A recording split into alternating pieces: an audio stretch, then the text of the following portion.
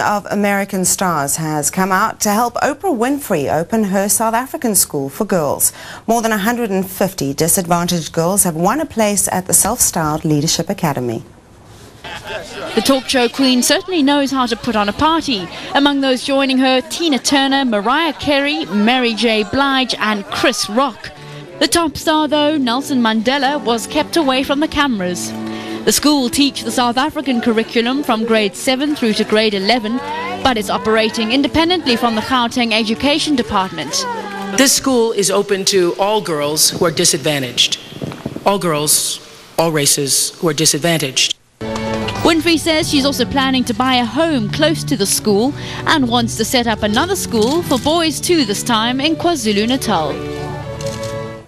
A New Year's celebration is being blamed for a fire at an informal settlement that's left one person dead.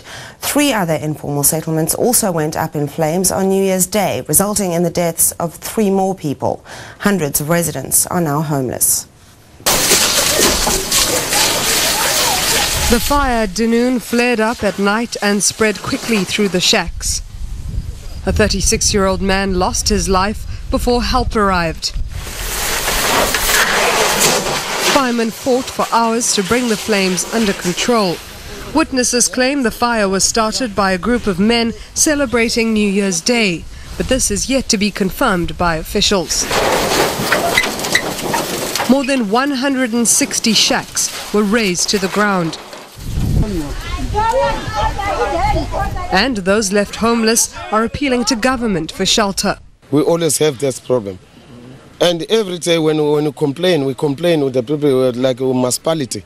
They didn't know about us. I lost everything, everything, even my ID book. We lost everything. As I'm here standing here by now, I got nothing. Three other fires swept through informal settlements in Khayelitsha and Gugulethu early on New Year's Day. The Gugulethu fire claimed the lives of two men and a woman. More than 200